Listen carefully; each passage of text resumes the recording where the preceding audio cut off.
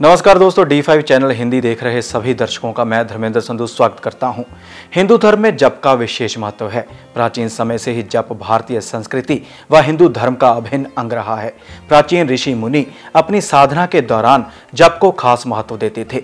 जप मुख्य रूप से माला के द्वारा किया जाता है। जप के लिए रुद्राक्ष की माला का प्रयोग किया जाता है, लेकिन आजकल बाज़ार में कई प्रकार की मालाएँ उपलब्ध हैं। जप के लिए प्रयोग में लाई जाने वाली माला में विशेष रूप से 108 मन के होते हैं। लेकिन आपने कभी सोचा है कि जप करने वाली माला में 108 मन के या मोती ही क्यों होते हैं?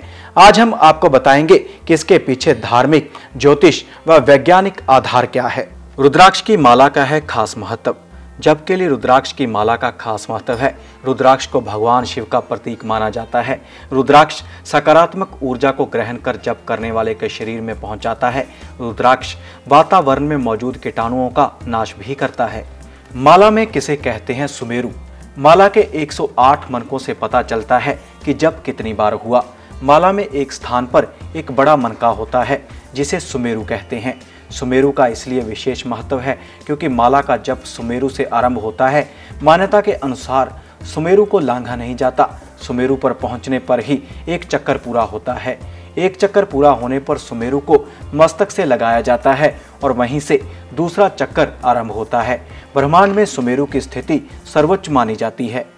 108 की संख्या को ऋषि मुनियों ने शुभ माना है, क्योंकि ऋषि मुनियों ने नक्षत्रों की संख्या 27 मानी है और प्रत्येक नक्षत्र के चार चरण माने जाते हैं। गुना करने के बाद इसका गुणन फल भी 108 ही आता है। इसके लिए 108 को खास महत्व दिया जाता है।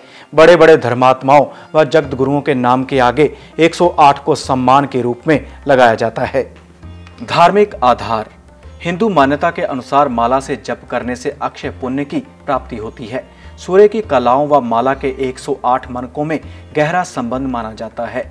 इस कारण सूर्य की एक स्थिति में दो लाख सोलह हज़ार का आधा भाग, यानी कि एक लाख आठ हज़ार बार परिवर्तन होता है। छह महीने की इन कलाओं के आखिरी तीन शून्य हटाकर जप के लिए माला के 108 मनकों का निर्धारण किया गया है। शिव पुराण में कहा गया है कि माला का अंगूठे से जप करने से मोक्ष की प्राप्ति और तर्जनी से शत्रु नाश होता है।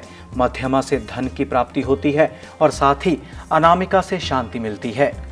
शास्त्रों के अनुसार एक सामान्य इंसान 24 घंटे में लगभग इक्कीस हज़ार बार सांस लेता है।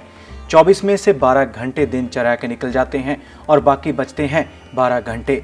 इस हिसाब से एक इंसान 12 घंटों में दस हज़ार आठ सौ बार सांस लेता है।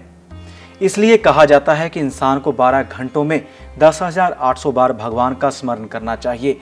लेकिन आज की भाग दौड़ भरी ज़िंदगी में इतनी बार स्मरण करना मुमकिन नहीं है। इसलिए 10,800 की संख्या के पीछे के दो शून्य हटाकर जप करने के लिए 108 संख्या का निर्धारण किया गया है।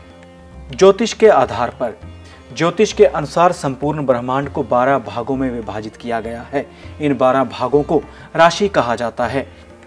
सो दोस्तों, आज हमने आपको बताया कि हिंदू धर्म में जप का विशेष महत्व है और खासकर जप माला से किया जाता है और 108 मनकों वाली माला का भी विशेष स्थान है। ऐसी ही ज्ञानवर्धक जानकारी लेकर फिर हाजिर होंगे। जुड़े रहिए चैनल डी हिंदी के साथ।